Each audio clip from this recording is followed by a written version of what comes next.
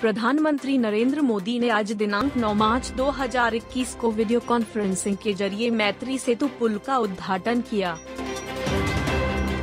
ये सेतु त्रिपुरा राज्य की फेनी नदी पर बनाया गया है।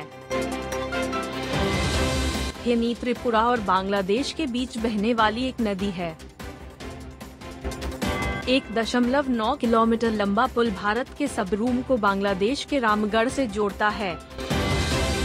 यह भारत और बांग्लादेश के बीच व्यापार और लोगों की आवाजाही में एक नया अग्रदूत बनने के लिए तैयार है। इस उद्घाटन के साथ Tripura gateway of north east बन जाएगा क्योंकि सबरूम से चटगांव की दूरी मात्र 80 किलोमीटर है। प्रधानमंत्री मोदी ने सबरूम में एकीकृत जाँच चौकी स्थापित करने के लिए आधारशिला भी रखी।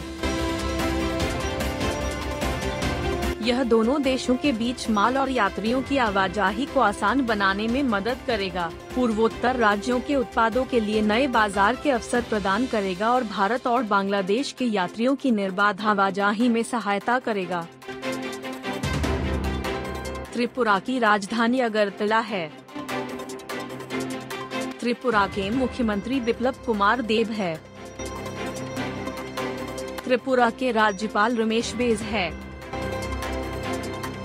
बांग्लादेश की प्रधानमंत्री शेख हसीना है। यहाँ के राष्ट्रपति अब्दुल हमीद है।